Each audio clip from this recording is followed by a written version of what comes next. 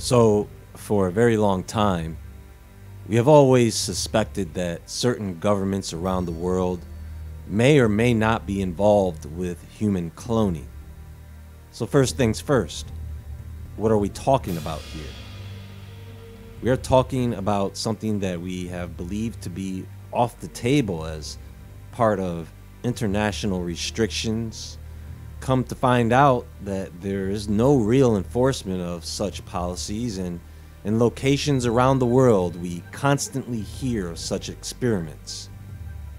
We are constantly told that they want to genetically modify us, they want to mix us with technology, they want a cyborg race, a cloned race.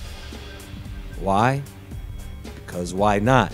They are controlled by a force that has been doing this since the inception of man. It is a force to be reckoned with, but not unstoppable. They just want our souls.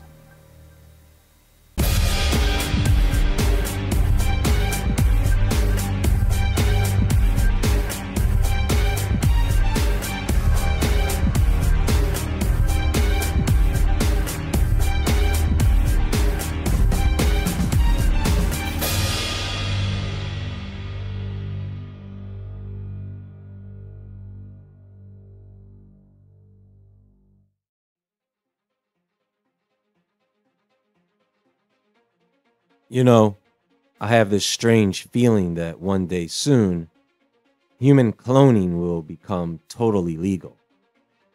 Now, how would that be accomplished? Well, think about this.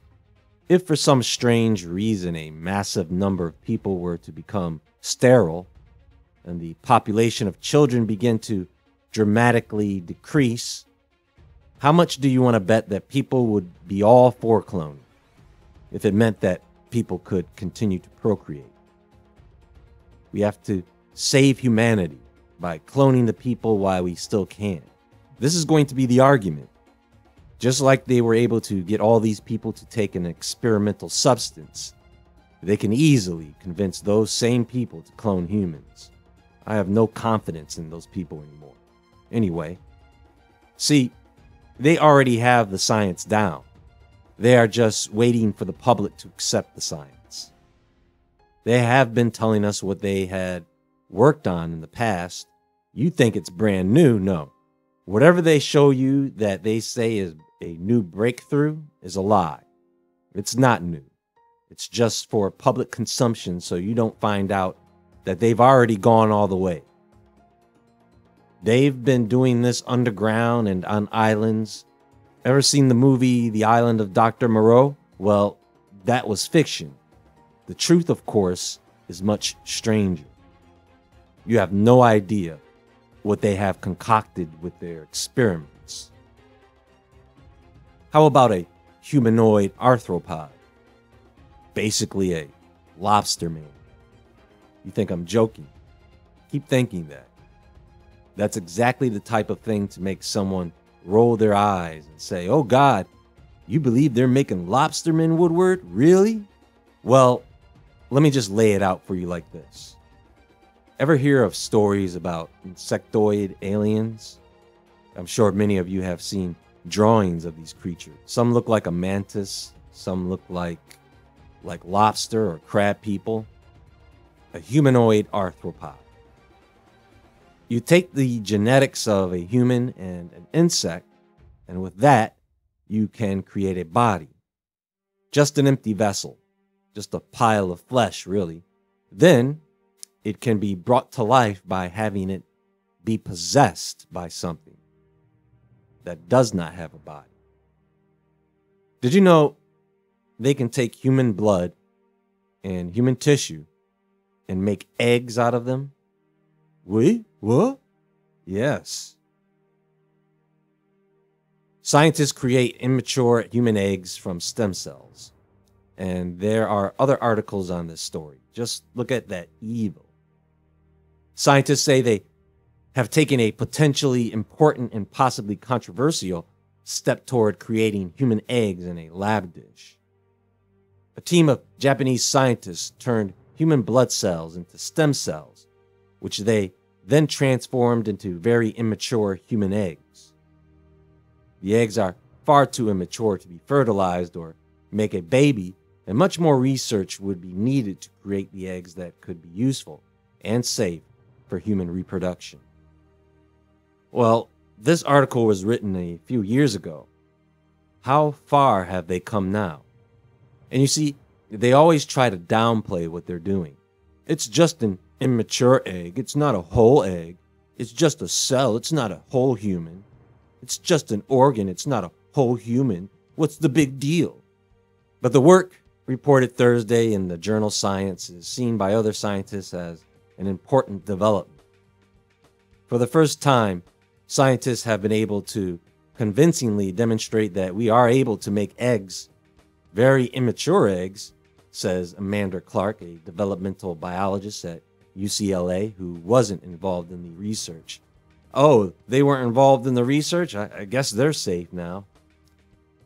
The technique might someday help millions of people suffering from infertility because of cancer treatments or other reasons, Clark says. You, you, see, I told you. I told you they already know what to say. So, what do you think, guys? You think there are clones among us? I mean, you hear it all the time about celebrities and politicians. All the time, constantly. Yeah, it's considered entertainment, along with those same people being reptilians and shapeshifters that would make them reptilian shapeshifting clones. You know, they make it a point to tell you guys that this has never been achieved, and any claims that it has been achieved are probably false. See, they think you're stupid. They want you to think that such experimentation would only exist in the government sector, and only the government has the resources and authority to do so when we know very well that private companies outperform the government constantly. That's why they are always trying to take over an already established company. First clone baby born on 26th December. This was in December 27th, 2002. So this got into the news quick. So this is crazy, let me tell you. Even if people go around saying that they have achieved human cloning, the government says that you shouldn't believe them. It's just a hoax, even though they at the same time say human cloning is possible. So have this make sense. The world's first clone baby was born on 26th of December, claims the Bahamas-based cloning company Clonaid, but there has been no independent confirmation of the claim. The girl, named Eve by the cloning team, was said to have been born by cesarean section at 11:55 Eastern. The birth at the undisclosed location went very well, said Bridget Boisler, president of Clonaid. The company was formed in 1997 by the Raelian cult, which believes people are clones of aliens. The baby is very healthy. She is doing fine. Boisler told a press conference in Hollywood, Florida on Friday. The seven pound baby is a clone of a 31 year old American woman whose partner is infertile, she said. Proving that the baby is a clone of another person would be possible by showing that their DNA is identical.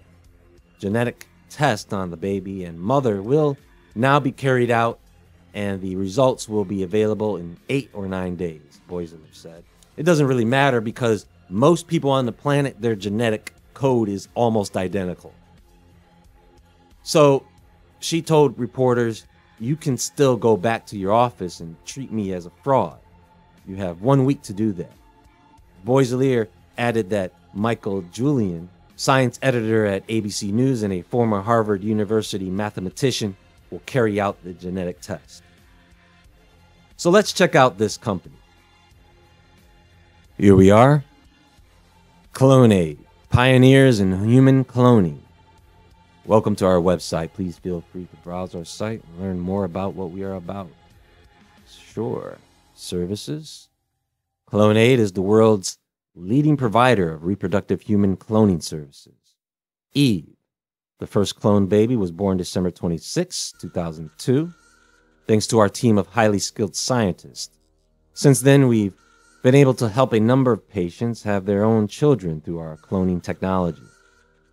Clonaid can help you if you're sterile and have lost hope of having the child you dream of. If you're homosexual and deeply desire a child who would carry your own genes. If you just lost or about to lose a beloved family member and would like to see an identical twin of that person begin a new life. If you're HIV positive and want to have a child that would be your genetic twin without infecting either the baby or your partner with the virus. If you simply want to be cloned, whatever your reasons may be. Well, there you have it. Here's an overview of the process steps. Contact form. Representatives contact you to discuss the situation and goals. Medical team will evaluate your case. Etc. Over the next several weeks, the donor cells will be optimized for nuclear transfer. We then retrieve eggs from either the patient or an egg donor. After several days, the clone embryo will be implanted in the patient's womb or that of the surrogate mother. Patient or surrogate mother will carry the fetus to term. During normal nine month pregnancy, the baby, a genetic twin or clone of the cell donor, will be delivered in a new human life. That of the desired child will begin. Okay. Let's look at the history. The first human cloning company in the world was founded in February 1997 by Raël and a group of investors who created the Valiant Venture Ltd corporation based in the Bahamas. The first couple of years, Clonaid has already received enormous media coverage. However, due to the pressure mounted on the Bahamas government by French journalists, Valiant Venture Ltd was canceled as government representatives were thinking the laboratories would be established on the Bahamas island. Meanwhile, the list of serious potential customers had grown to more than 250 people. I don't doubt that. Therefore, during the year 2000, Raël decided to hand over the Clonaid project to Dr. Bridget Boisler, a Raelian bishop, in order for her to start working on actually cloning the first human being with a team of well trained scientists. Dr. Boisler has PhD degrees in physical and biomolecular chemistry. In her last job, she was marketing director for a large chemical company in France. In the summer of 2000, an American couple that wanted to help develop the technology in order for them to have a baby contacted Dr. Boisler. They were the first major investors funding the equipment and the laboratory needed, and Clonaid's first human cloning laboratory was set up in early 2001. In the summer of 2001, following several visits from U.S. government representatives in our facilities, Clonaid decided to pursue its human cloning project in another country where human cloning is legal. Wow. And I guess the uh, technology they're using is uh, embryonic cell fusion, the new RMX 2010. Okay. The, I guess this is technology you can go research. They have a facts section, which is not very large basically answers the question who is this for? I guess it's for anyone willing to participate, really. Anyone with the money to dump into such a thing that can guarantee that they are going to have privacy in that type of matter. And you have some contact information. And that's about it. It seems very private uh, for a website. It is kind of what I would expect, something not that commercial. And uh, all I have to say is, wow, this is just one company of out of how many that exist. Some of which are probably so private you wouldn't know they did exist. If you try to research this company and what they have accomplished, as far as I know, at least 13 claims of children clones as of 2004 and you will get caught in a loop of information with no conclusion. So who knows what's coming out of those labs except the people involved? not to mention the reports of failed attempts made by this company.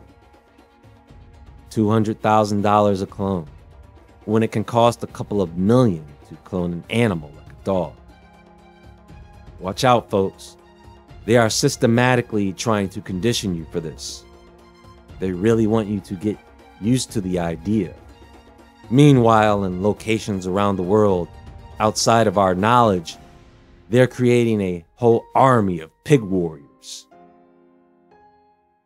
We have to come back to this, of course, and I will probably put the next discussion about this up on the website. I am making changes to the website to make it more user friendly and to make sure all the bugs are fixed and ironed out. And I want to thank everyone who has visited the website and supported it. So until next time, be sure to visit woodwardentertainment.com and the Woodward Entertainment Store. And as always, my fellow natural humans, stay awake, stay aware, stay safe, and I'll talk to you all soon.